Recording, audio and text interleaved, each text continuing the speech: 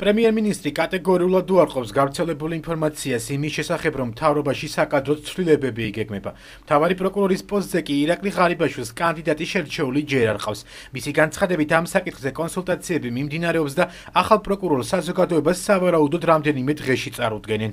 ჩვენ ვფიქრობთ, ჩვენ გვაქვს კონსულტაციები ამას დაკავშირებით. ორი კვირა გავიდა, მაგრამ ჩვენ არ ვართ კანონის მიხედვით შეზღუდული დროში. უახლოეს დღეებში მე დავასახელებ თავარი პროკურორის კანდიდატურას. რაც შეეხება თქვენს მომდენო შეკითხვას, იგეგმება თუ არა მთავრობაში ცვლილებები, მე გიპასუხებთ რომ არ იგეგმება ამ ეტაპზე არავითარი ცვლილება მთავრობაში.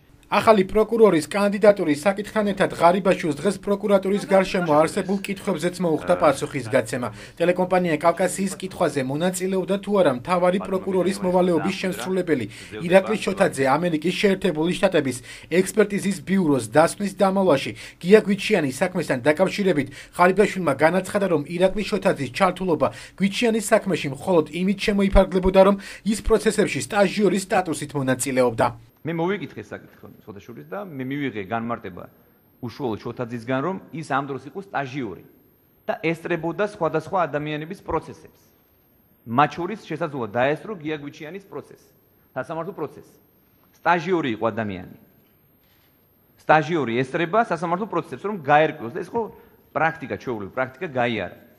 და ამ დროს მოხდა მის და საუბედუროდ ახლა გამოჩნდა რომ თურმე საუბედუროდ ამ პროცესს დაესწროს ადამიანი. დღესვე ირაკლი ღარიბაშვილმა დაადასტურა ინფორმაცია, რომლის თანახმადაც ექს-პრემიერის სურაბ ჟვანიას ცხედრის ექსჰუმაცია იგეგმება. მისი განცხადებით, ცხედრის ექსჰუმაციაში პროკურატურა შვეიცარიის ლაბორატორიის ჩართვას გეგმავს. რაც შეეხება ჟვანიას საქმეს, ამას დაკავშირებით გიდასტურებთ, რომ არის საუბარი ექსჰუმაციაზე, ექსჰუმაციაზე და იმისაც რომ არ გაჩნდეს რაიმე კითხვა რაიმე ეჭვები დარჩენ არ გაჩნდეს საზოგადოებაში და არ მხოლოდ ჩვენ საზოგადოებაში არ მეზოგად სოფლიოში.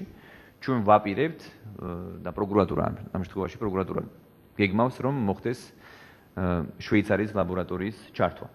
არ მხოლოდ ამას გარდა ჩვენ ვაპირებთ რომ შეიქმნას გარკვეული კომისია ერთგვარი რაღაც კომისია შევქმნათ საუბარი კონსტიტუცია მიმდინარეობს იგივე თომას ამერბერგთან რომელმაც წინასწარ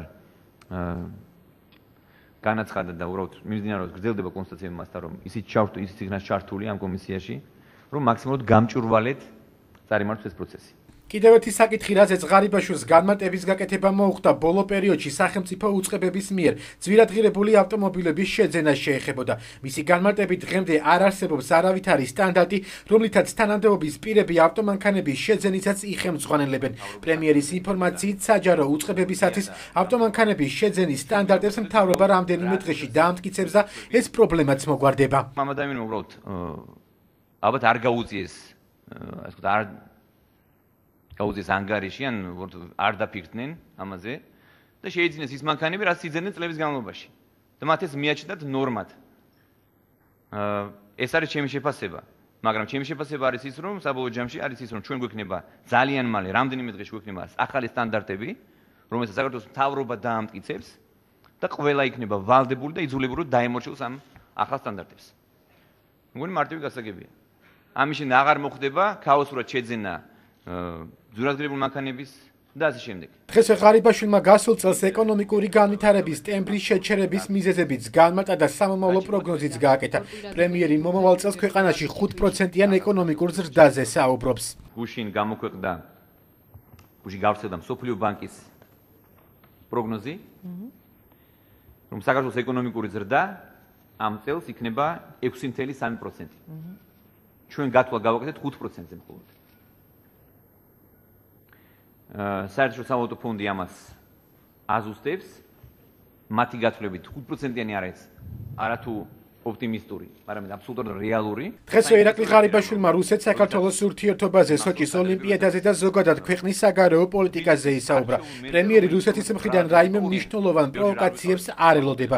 რაც შეეხება სოჭის ოლიმპიადას, ღარიბაშვილის განცხადებით ოლიმპიადაზე მხოლოდ სპორტსმენები გაემგზავრებიან. და გავმიჯნოთ სპორტი პოლიტიკისგან.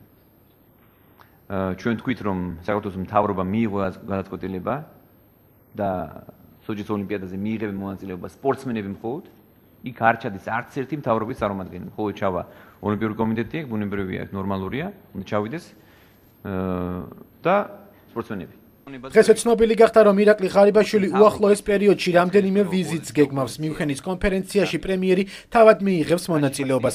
მანამდე კი ღარიბაშვილის ვიზიტი დავოში შედგება სადაც პრემიერის განცხადებით რუსეთის ხელისუფლებასთან შეხვედრებს არ აპირებს ისრაელში დაგეგმილი ვიზიტისას კი თავისუფალი ვაჭრობის ხელშეკრულება გაფორმდება. უახლოეს პერიოდში პრემიერის ვიზიტი ბრიუსელში შედგება სადაც ის ევროკავშირის ხელმძღვანელობას და ნატოს გენერალურ მდივანს შეხვდება